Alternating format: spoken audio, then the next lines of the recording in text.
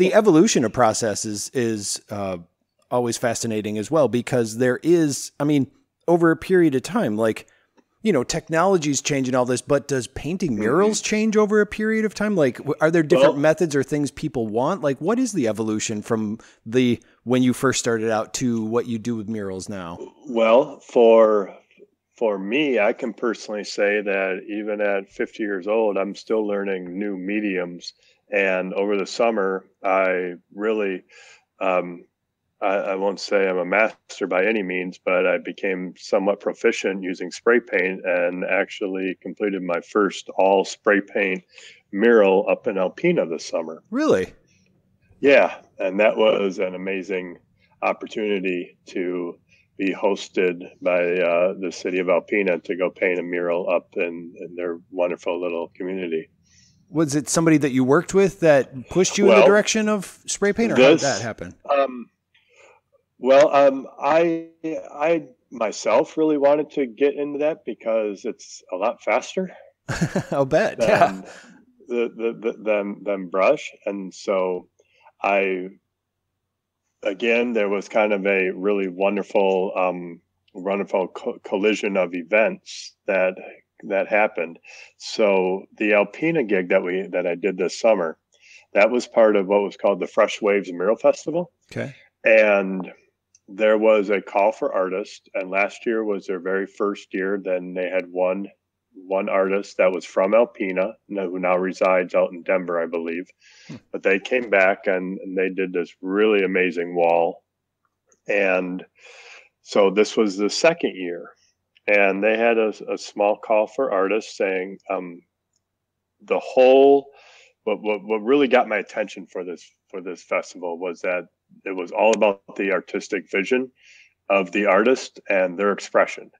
So they weren't interested in getting a uh, homogenized history of Alpena or anything that was a guiding sense of what they wanted that was leaving it 100% open to the artist and whatever their style was.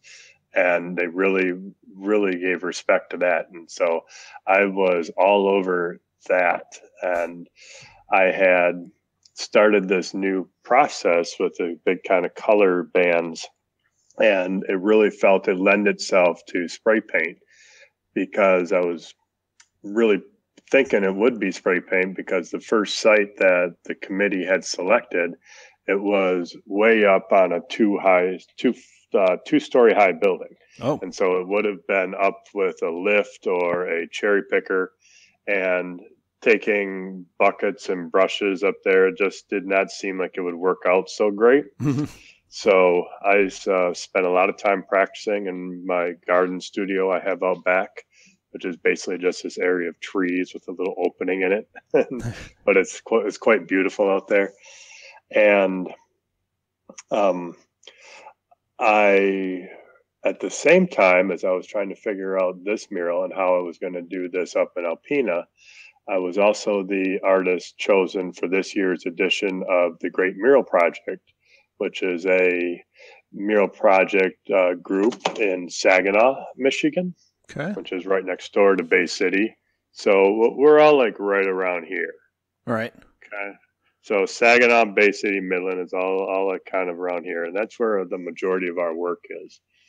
And the um, in doing this mural for Saginaw this past summer, I was able to, which was another of a uh, spray paint mural, but I was able to get a master come up and help help us, and his name was Kevin Burdick from down in Fenton, and he's very much involved with the Flint art community and um, has done some just incredible murals all around and just an amazing guy.